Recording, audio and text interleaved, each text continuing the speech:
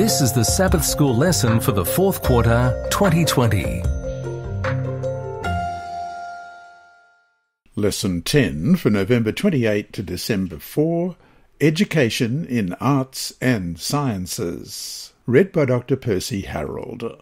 Sabbath afternoon, November 28. Before we start, let's pray. Our Heavenly Father, once again we come to open your word. We're coming towards the last month of this series of lessons, and we've learnt so much about you and what you want for us. And this week we're looking at education in arts and sciences and how it affects us and how it relates to your word. Please open our hearts, open our minds, that we may see what you have for us. We pray in Jesus' dear name. Amen. Our memory text this week is one of my favourite verses, Psalm 19, verse 1. The heavens declare the glory of God, and the firmament shows his handiwork. Let's read that again. The heavens declare the glory of God, and the firmament shows his handiwork. Psalm 19, verse 1. Education includes what has been called the arts and sciences, but when we learn or teach the arts and sciences from a biblical perspective, what does this imply? Are we simply offering select Bible verses that relate to a particular aspect of modern medicine or art history, for example? In so doing, we can relate our practical lessons to the amazing power of God in creating our complex world. But a simple incorporation of Scripture in a textbook lesson is only a small part of true education, the education that is salvific and redemptive. For such an education truly to function, we need God's Word to inform the teaching of every discipline, from humanities to molecular biology. Without it, we can lose sight of God's enormity, His sovereignty as creator and sustainer of our world. In learning to see how God views his creation as organic and purpose filled, we come closer to understanding how certain disciplines could and should be taught. This week, we will look at some principles involved in how we can teach the arts and sciences from the Christian perspective and worldview.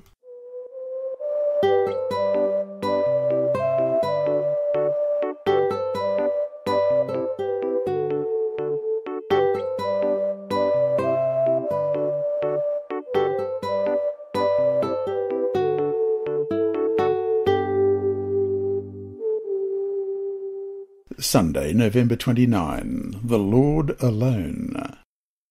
There is evidence of the living God in all of creation.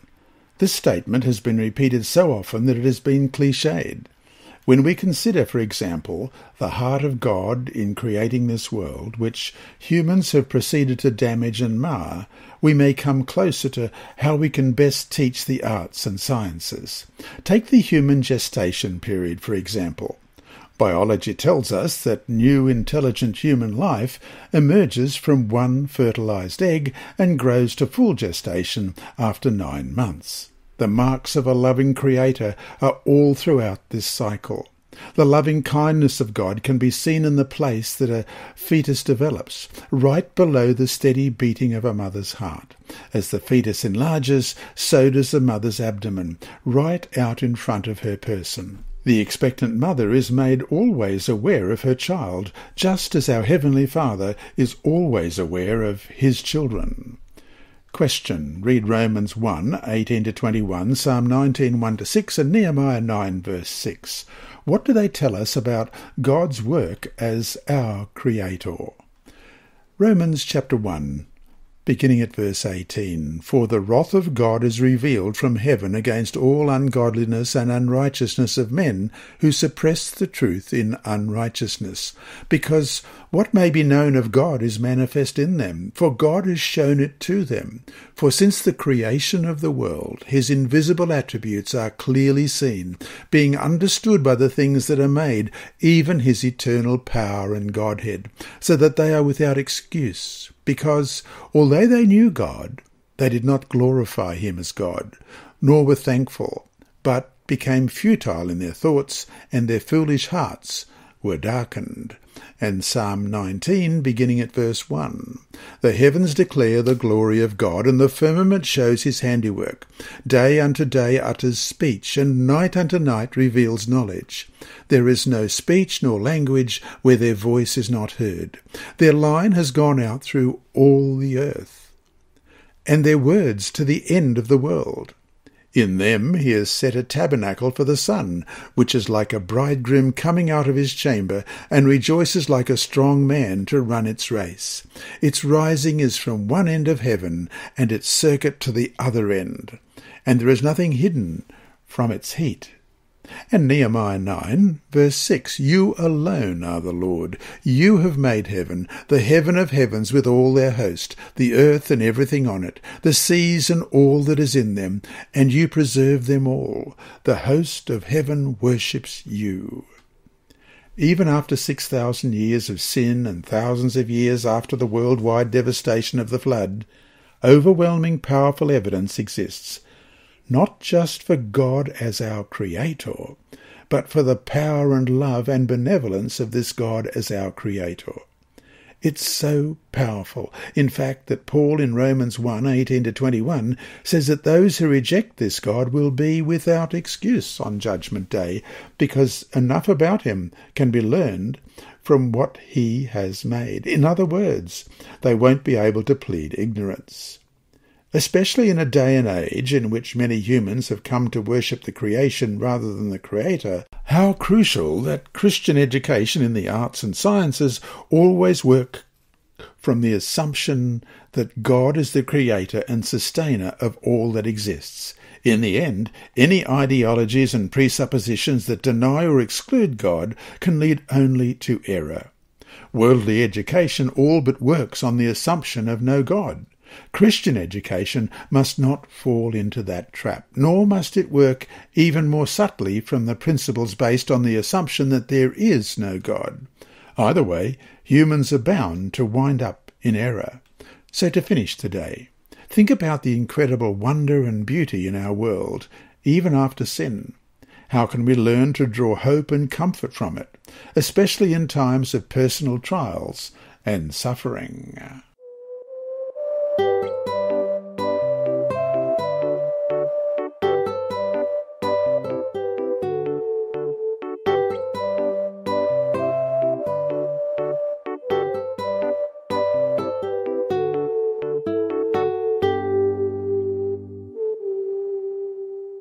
Monday, November 30.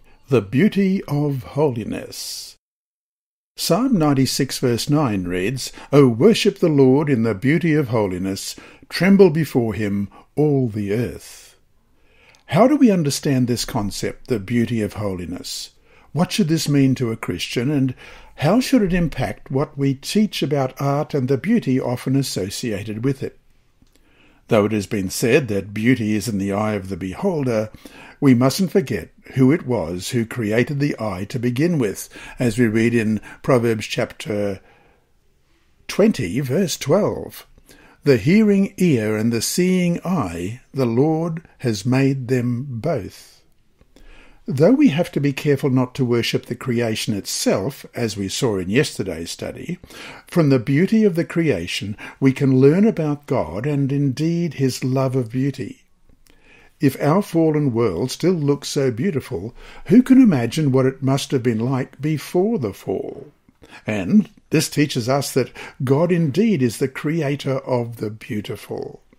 Study of arts and sciences can and should then draw us closer to the character and heart of God.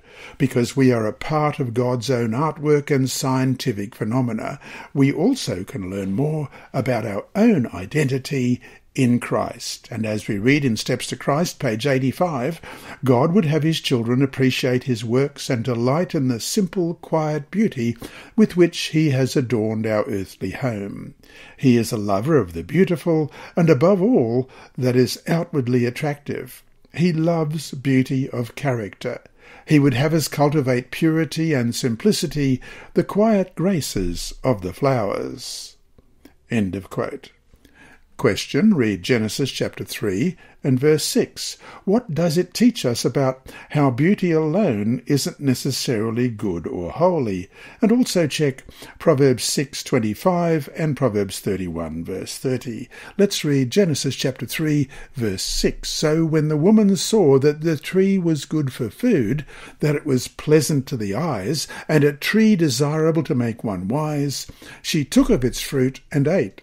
She also gave to her husband with her, and he ate. And Proverbs 6.25, Do not lust after her beauty in your heart, nor let her allure you with her eyelids. And Proverbs 31 verse 30, Charm is deceitful and beauty is passing, but a woman who fears the Lord shall be praised. As with everything God has done, we have an enemy who distorts and exploits it. It shouldn't be surprising, then, that beauty and concepts of beauty can be used against us as well. Thus, especially in the arts, Christian education, guided by Scripture, must help us learn to be careful in understanding that not all that is beautiful is necessarily good or holy. So, to finish today, what are some beautiful things that are not necessarily holy and good?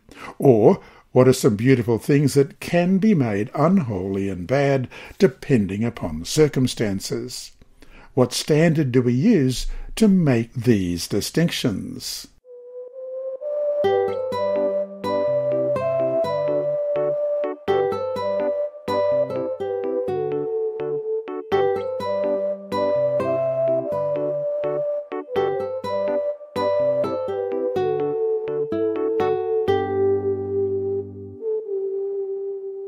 Tuesday, December 1. Experts in Error. We know that our world has more than its share of art and philosophy that does not honour God. Many would argue that Christians should not even enter these proverbial tents. Seventh day Adventist Christians must carefully consider their own business in serving certain industries, patronising certain establishments, consuming certain media question. In 1 Timothy chapter 6, we are given clear instruction as to what pursuits we should avoid, but we also are given ample explanation. In 1 Timothy 6, 9 and 10, what are the pursuits against which Paul warns? 1 Timothy 6, beginning at verse 9. But those who desire to be rich fall into temptation and a snare, and into many foolish and harmful lusts, which drown men in destruction and perdition. For the love of money is a root of all kinds of evil, for which some have strayed from the faith in their greediness, and pierced themselves through with many sorrows. Read the rest of 1 Timothy chapter 6. What are the key pursuits that Paul endorses. Let's begin at verse 1 of 1 Timothy chapter 6. Let as many bondservants as are under the yoke count their own masters worthy of all honour, so that the name of God and his doctrine may not be blasphemed. And those who have believing masters, let them not despise them because they are brethren, but rather serve them because those who are benefited are believers and beloved. Teach and exhort these things. If anyone teaches otherwise and does not consent to wholesome words, even the words of our Lord Jesus Christ, and to the doctrine which accords with godliness, he is proud, knowing nothing, but is obs- obsessed with disputes and arguments over words, from which come envy, strife, reviling, evil suspicions, useless wranglings of men of corrupt minds and destitute of the truth, who suppose that godliness is a means of gain. From such withdraw yourself. Now, godliness with contentment is great gain, for we brought nothing into this world, and it is certain we can carry nothing out and having food and clothing, with these we shall be content. But those who desire to be rich fall into temptation and a snare, and into many foolish and harmful lusts, which drown men in destruction and perdition. For the love of money is a root of all kinds of evil, for which some have strayed from the faith in their greediness, and pierced themselves through with many sorrows. But you, O man of God, flee these things and pursue righteousness, godliness, faith, love, patience, gentleness. Fight the good fight of faith. Lay hold on eternal life, to which you were also called, and have confessed the good confession in the presence of many witnesses. I urge you in the sight of God, who gives life to all things, and before Christ Jesus, who witnessed the good confession before Pontius Pilate, that you keep this commandment without spot, blameless, until our Lord Jesus Christ's appearing which he will manifest in his own time. He who is the blessed and only potentate, the King of kings and Lord of lords, who alone has immortality, dwelling in unapproachable light, whom no man has seen or can see, to whom be honour and everlasting power. Amen. Command those who are rich in this present age not to be haughty nor to trust in uncertain riches, but in the living God who gives us richly all things to enjoy. Let them do good, that they be rich in good works, ready to give, willing to share, storing up for themselves a good foundation for the time to come, that they may lay hold on eternal life. O Timothy, Guard what was committed to your trust. Avoid the profane and idle babblings and contradictions of what is falsely called knowledge. By professing it, some have strayed concerning the faith. Grace be with you. Amen. Notice in 1 Timothy 6:20 how Paul warns against what is falsely called knowledge. Though he's working from a different context, the principle is still applicable. That is, think about all the information, all the teaching, all the beliefs, not only now, but also throughout human history, that were flat out wrong. People can indeed be experts in error. For nearly 2,000 years, the world's smartest people, the experts, believed that the Earth sat immobile in the centre of the universe, while all the stars and planets orbited it in perfect circles.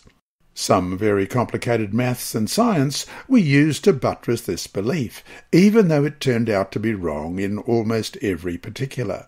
Hence, we could say that these people were experts in error, and that this teaching certainly was falsely called knowledge.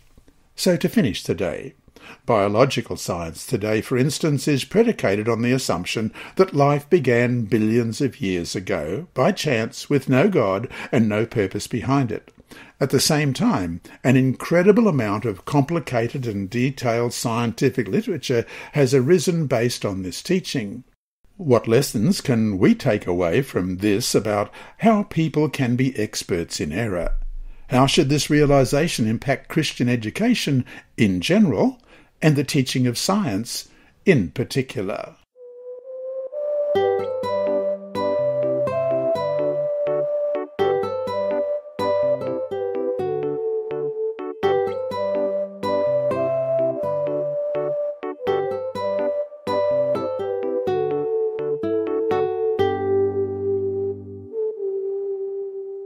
Wednesday, December 2 Foolishness and Wisdom.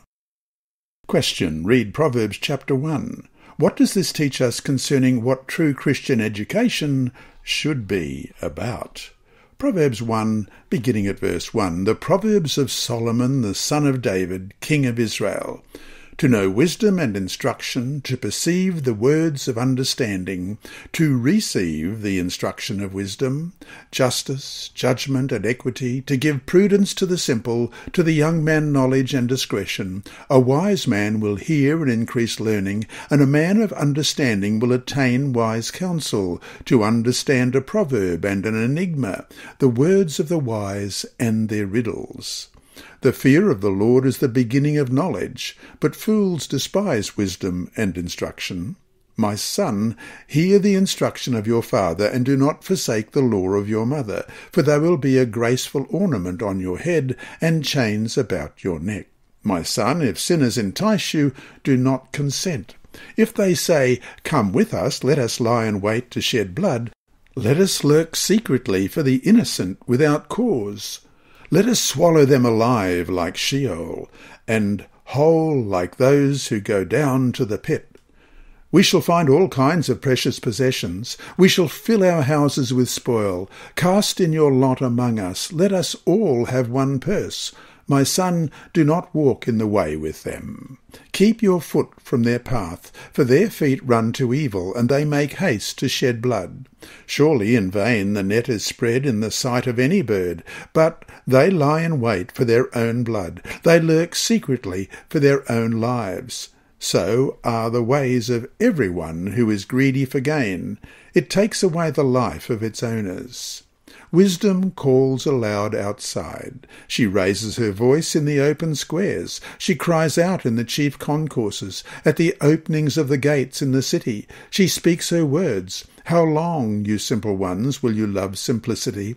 For scorners delight in their scorning, and fools hate knowledge. Turn at my rebuke. Surely I will pour out my spirit on you. I will make my words known to you, because I have called you, and you refused. I have stretched out my hand, and no one regarded, because you disdained all my counsel, and would have none of my rebuke. I also will laugh at your calamity. I will mock when your terror comes, when your terror comes like a storm, and your destruction comes like a whirlwind, when distress and anguish come upon you. Then they will call on me, but I will not answer.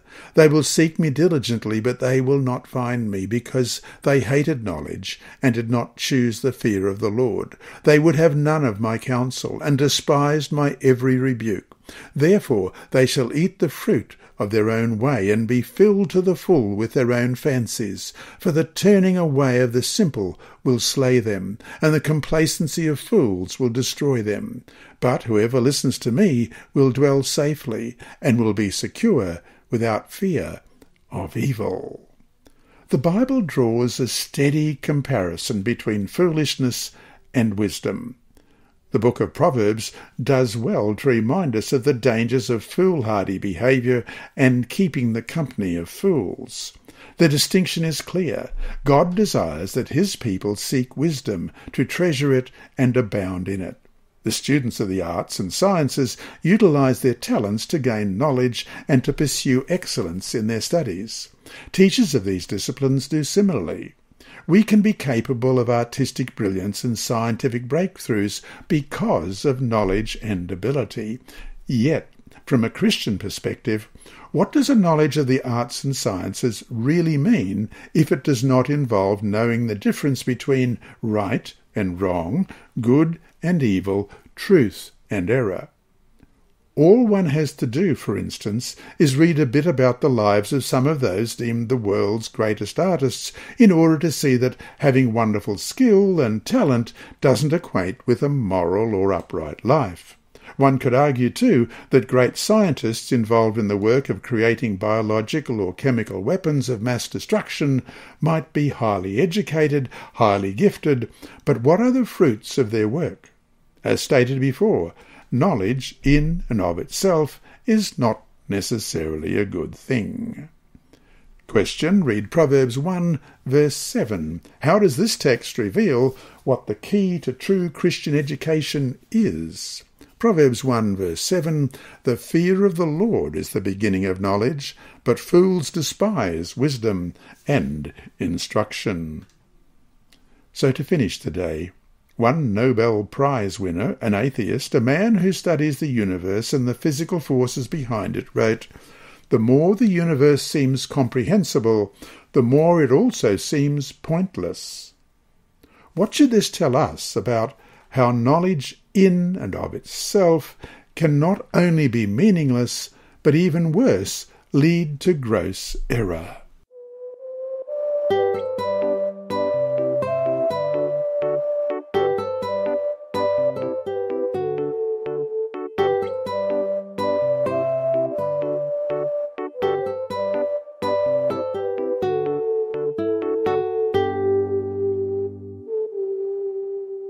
Thursday, December 3, the Lord answered Job.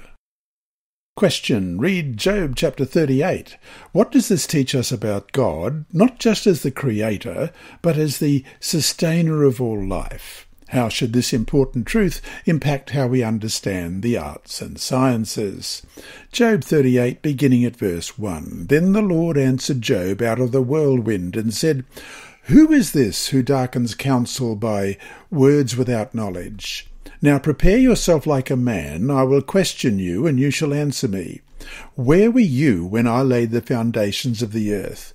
Tell me if you have understanding. Who determined its measurements? Surely you know. Or who stretched the line upon it? To what were its foundations fastened? Or who laid its cornerstone when the morning stars sang together and all the sons of God shouted for joy? Or who shut in the sea with doors, when it burst forth and issued from the womb?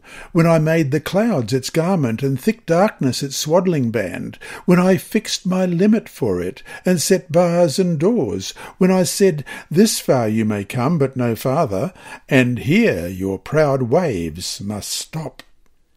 Have you commanded the morning since your days began, and caused the dawn to know its place, that it might take hold of the ends of the earth, and the wicked be shaken out of it?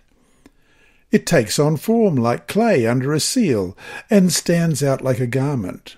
From the wicked their light is withheld, and the upraised arm is broken. Have you entered the springs of the sea, and have you walked in search of the depths? Have the gates of death been revealed to you, or have you seen the doors of the shadow of death? Have you comprehended the breadth of the earth? Tell me if you know all this.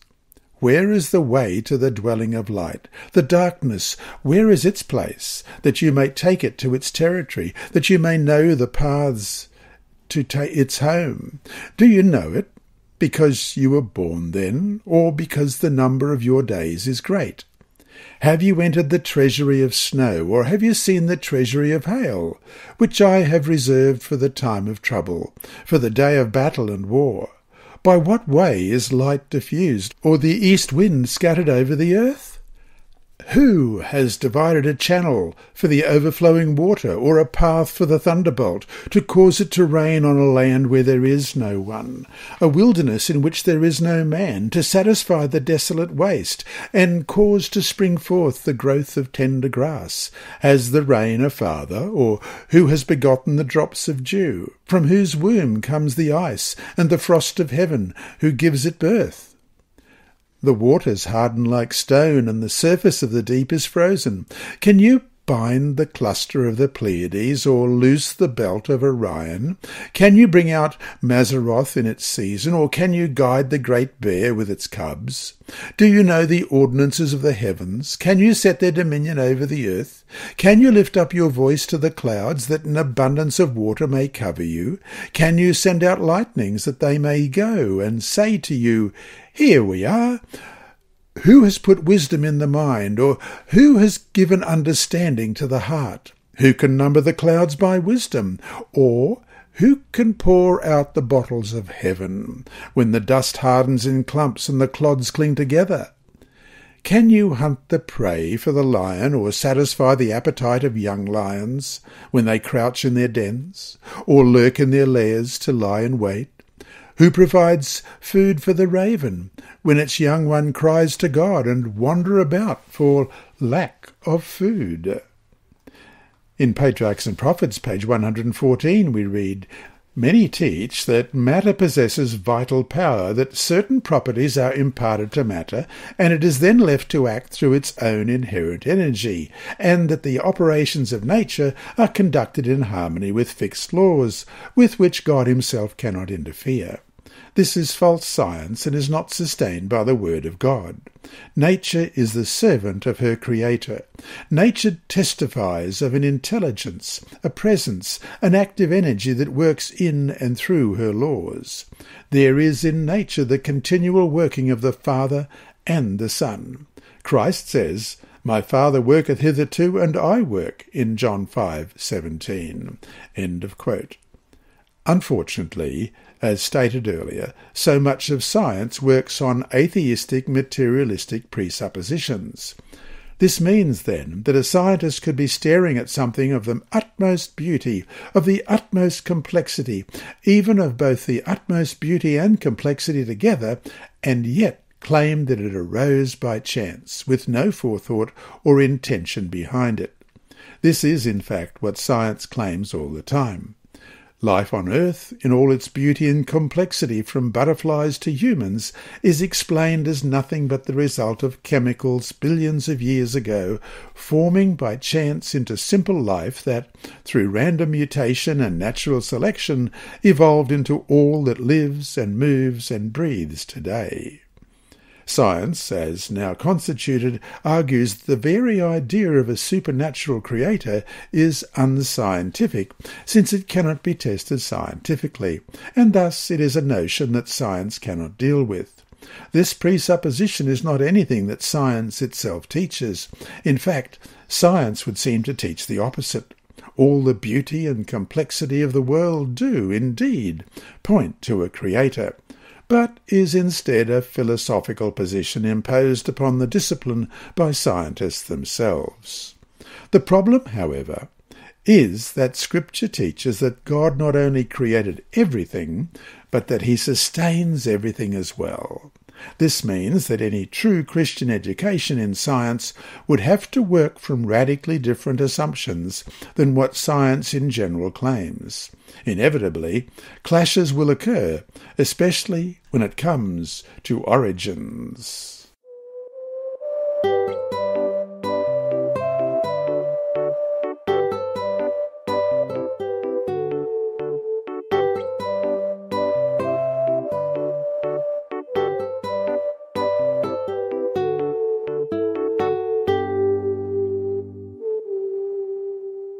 Friday, December 4.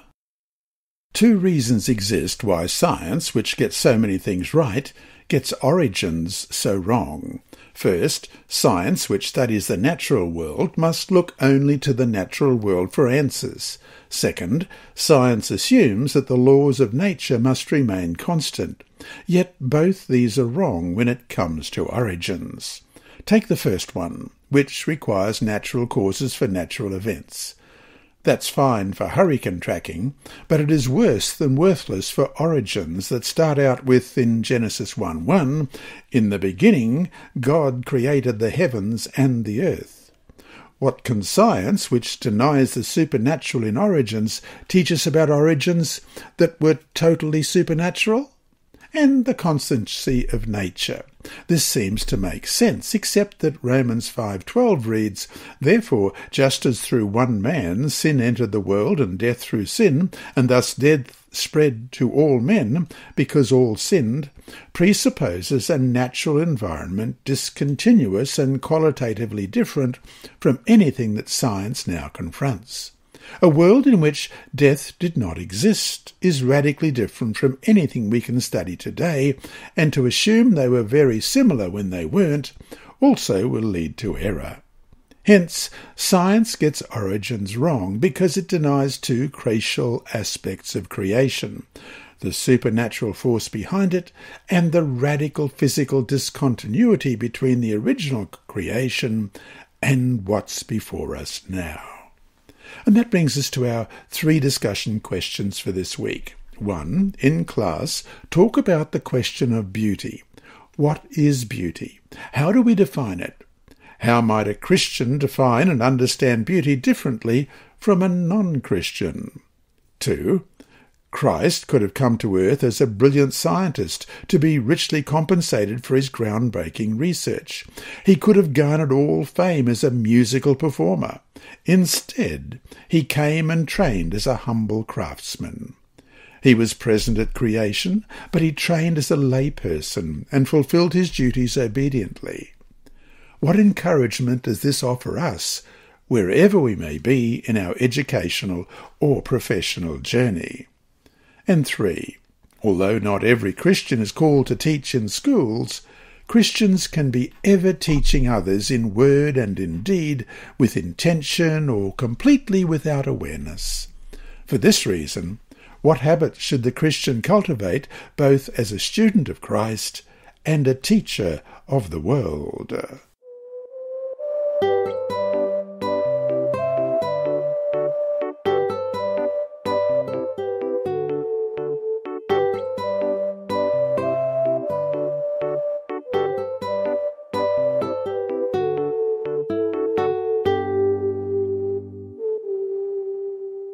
Inside Story Keeping Two Boys Quiet by Marcy Evans. Keeping children quiet in church became a real challenge when my niece, who was struggling with drugs, gave her two sons to my husband and me.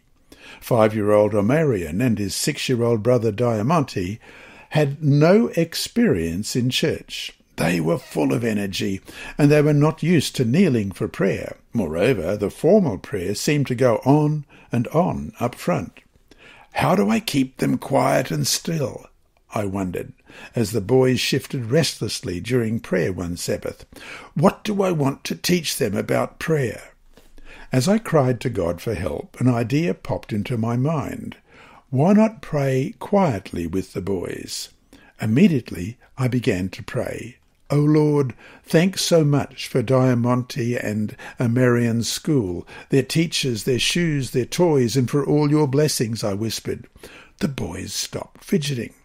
Please, Lord, be with their mamma, I said. She loves them so much. Please heal her from drugs and be near her today.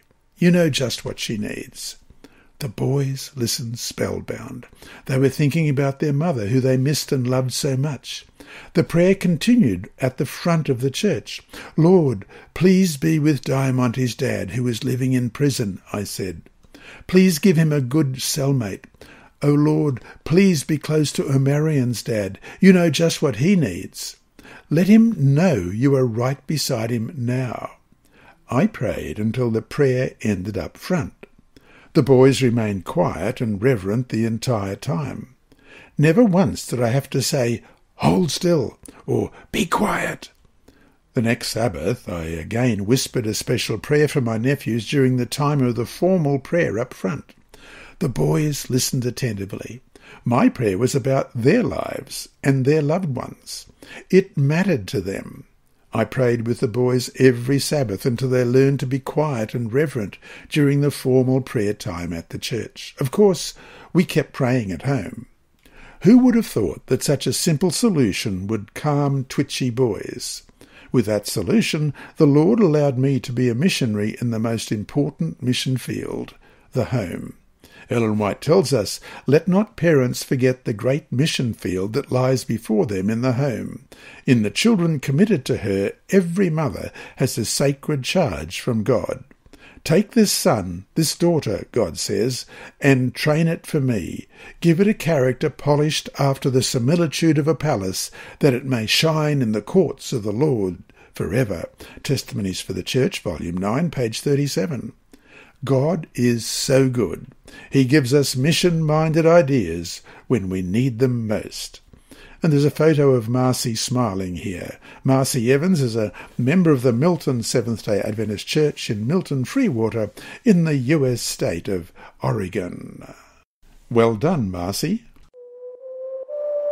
This lesson was read by Dr. Percy Harrold for Christian Services for the Blind and Hearing Impaired, Christian Record Services for the Blind, the Sabbath School Department, and Hope Channel. You can also listen on the official Sabbath School 4 app and the Apple iTunes app Sabbath School with Percy Harrold. Remember, God is always faithful.